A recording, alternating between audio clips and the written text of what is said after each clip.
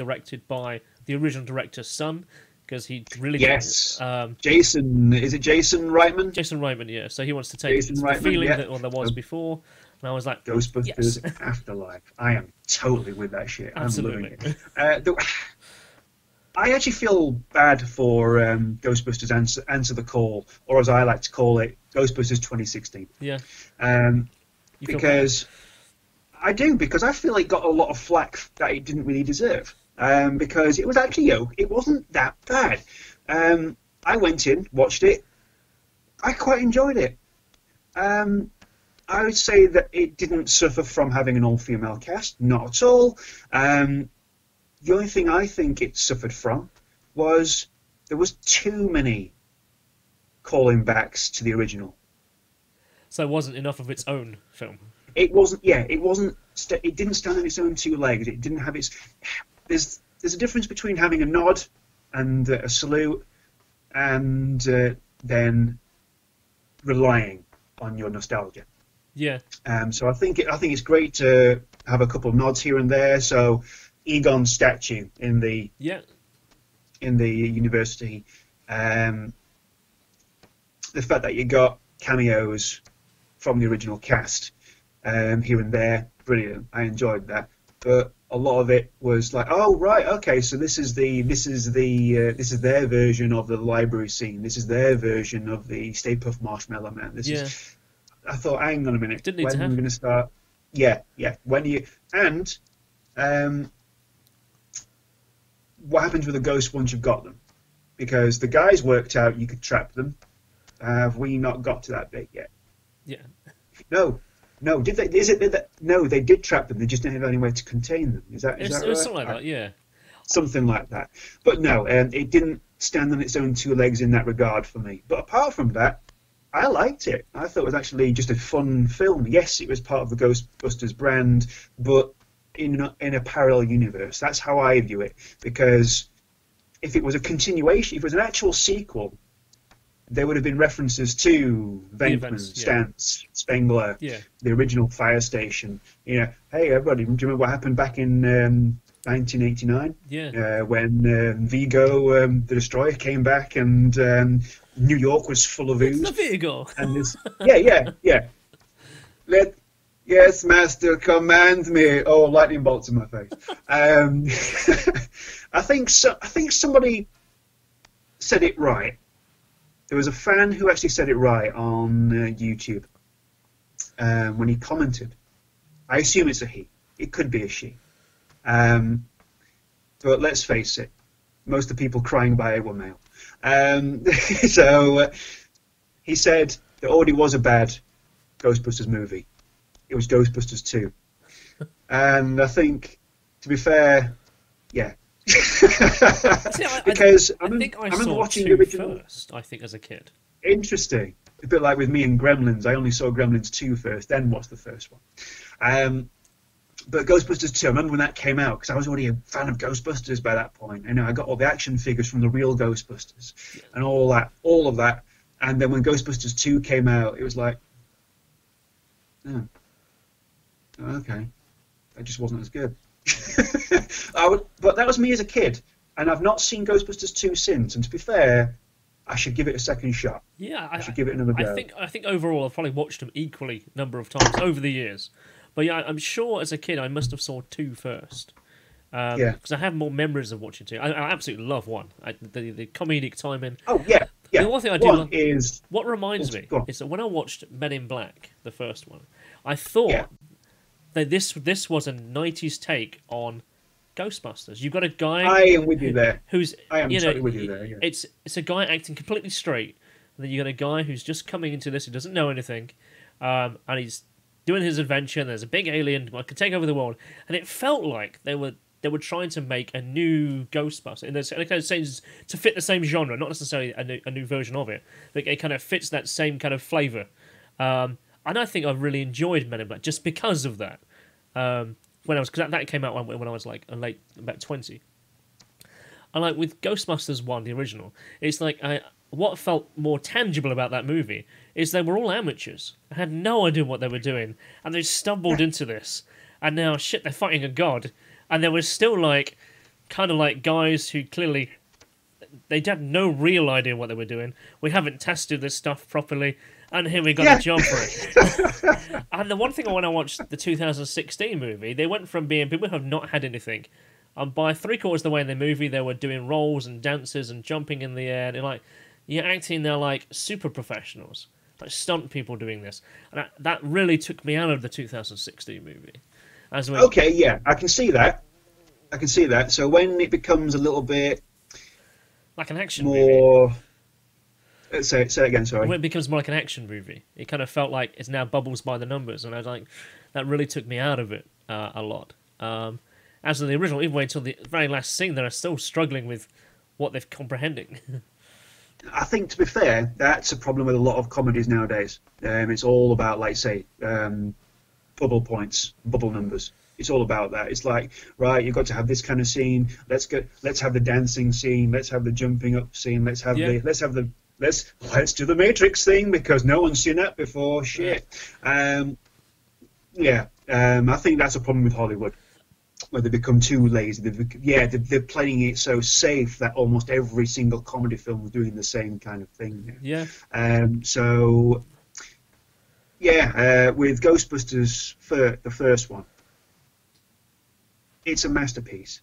Uh, like you say, you've got this bunch of guys who don't know what they're doing, getting together and start basically becoming pest control um, for Yeah. ghosts, um, and then making a business because of that, and end up. And you, you, you've got Ray at the top of the uh, building saying that we're from representing the uh, state and city of New York. We ask you to please conveniently conveniently move to a next parallel dimension. love Yeah. it. Fucking brilliant! It, it's it's that. It's it's those things. It's like what do you say to a god? Fuck it. Might as well just pull the law on her and When, when someone that works. asks if you're a god, say yes. yeah. it's so quotable. Um, where, but that's the. I think that's one of the weaknesses of Ghostbusters 2016. There was no real writing like that. Um, there was no moment like that, you know, um, because in Go, what what makes Ghostbusters the original is the way that the uh, it is the way that it's just so sharp and the way it's just so ordinary at the same time. yeah, So you had you had Bill Murray being Bill Murray basically, um, yeah, and and then you had an almost realism of that, um, as as in a realism of that world. yeah. Um, Because so they're for acting exa- straight in the kind of way that we rib on each other. Yeah, Yeah. in real life. Whereas whereas even though Holtzmann in 2016, um, oh, she's a great character. She's funny. She's you know um, I forget the actress's name, Kate McKinnon. yeah, Kate McKinnon. Um, she's amazing. She's brilliant. She's a complete cartoon. yeah. Her character's just a cartoon. Um, as is um, McCarthy, isn't it? Abby. Um, is that who she played? Uh, Melissa, actually, I, I love the dynamic between M- M- M- Melissa McCarthy and. Um, oh, Christ, I can't remember the. Because it kind of feels like that because they were the team that did um, Bridesmaids, um, and it kind of felt like it was Bridesmaids cosplaying Ghostbusters.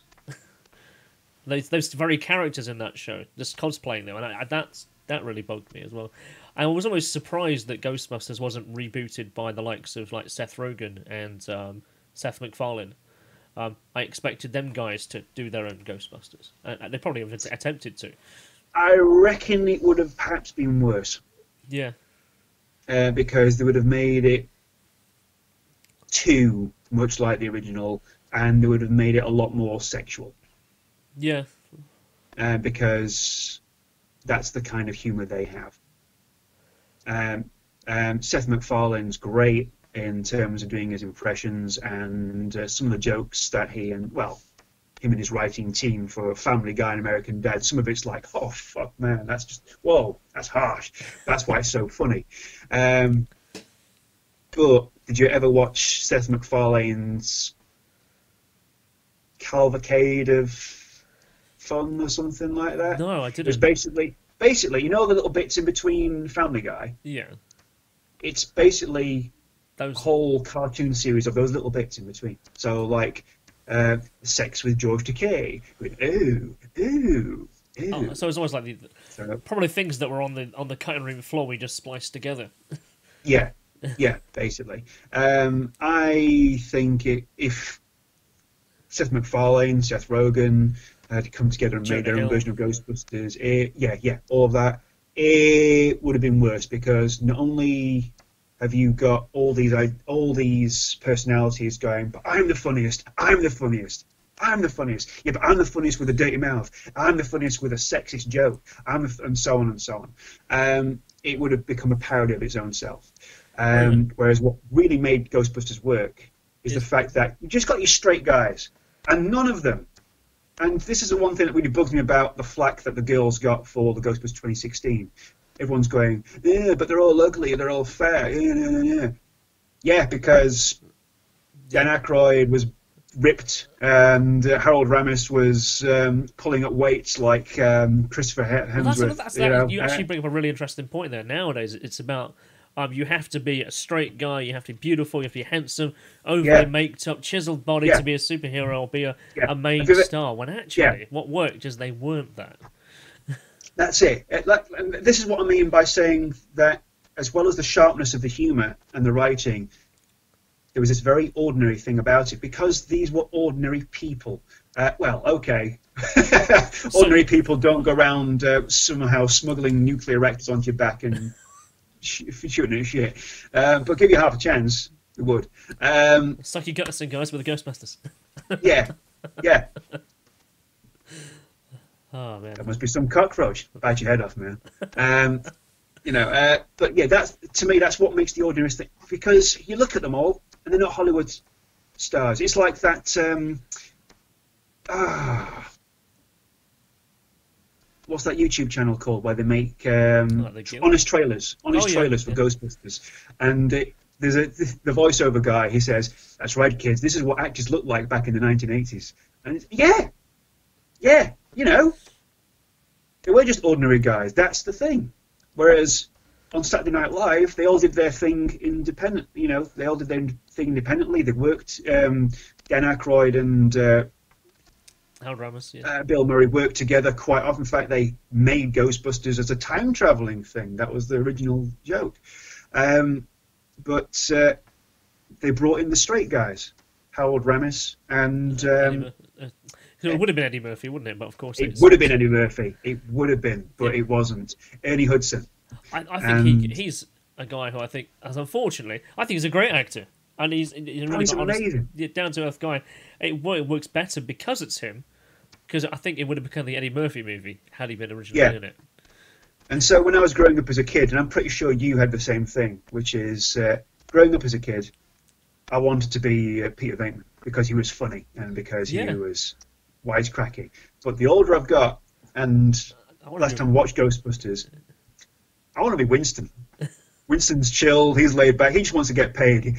You know, um, it's just that wonderful bit where he's getting a job interview with uh, Janine, and she's saying to him almost like she doesn't even care. Do you believe in the UFOs? The uh, Loch Ness monster? That's the Bigfoot uh, lady. Uh, If you if there's, a, if there's a steady paycheck, I'm prepared to believe whatever you say. yeah, I love it. It's true. Absolutely love it. Oh, mate, I think uh, I think Janine might have been my first crush actually. The cartoon Janine. yeah, yeah, the cartoon Janine. Yeah.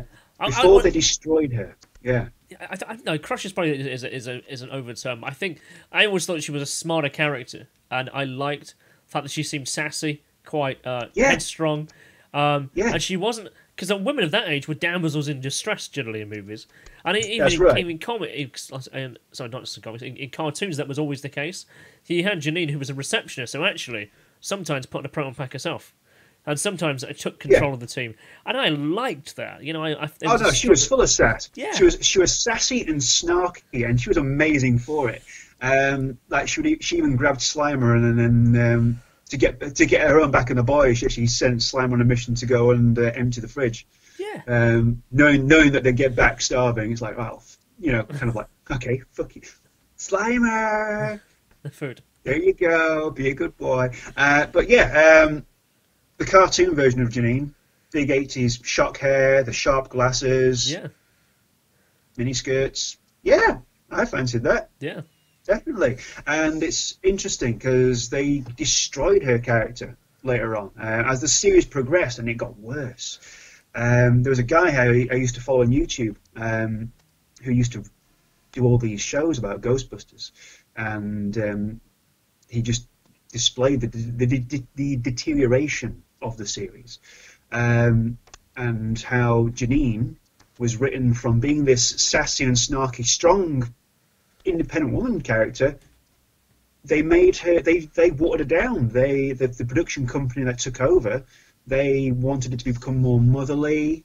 Um, they wanted her to have round glasses. They gave her the bob haircut rather than the 80s shot because they thought sharp lines were scary for kids.